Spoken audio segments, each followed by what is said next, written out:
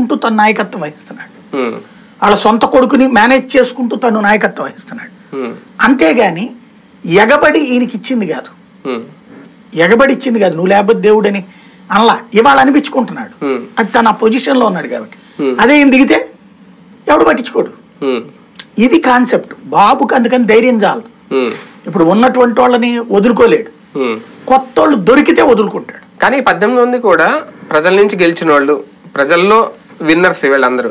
కానీ ఇప్పుడు జగన్మోహన్ రెడ్డి గారి దృష్టిలో ఫెయిల్ అయ్యారా? ఫెయిలర్స్గా మా ఇప్పుడు అంటే వీళ్ళు ఈ ఐదేళ్ళు రాసిన పరీక్షలో ఆయన దగ్గర ఫెయిల్ అయ్యి ఆ ఫెయిల్ మార్కులతో ఇప్పుడు బయటకు వెళ్ళి ఇంకో చోట గిట్టిన అవ్వగలుగుతారా? అవుతారు. అదేం ప్రాబ్లం ఏం కాదు. ఇప్పుడు ఇద్దరికి ఆల్రెడీ టికెట్లు ఇచ్చింది తెలుగుదేశం పార్టీ. కోటన్ రెడ్డి తర్వాత నానం.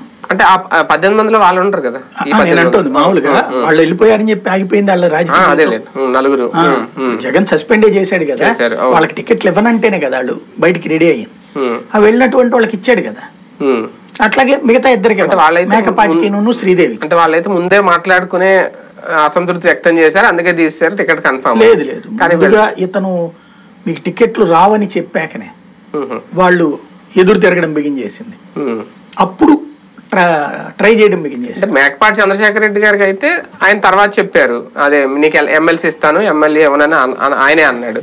కానీ కోటమిరెడ్డి సీతారెడ్డి విషయంలో ముందు నుంచి ఆయన టీడీపీ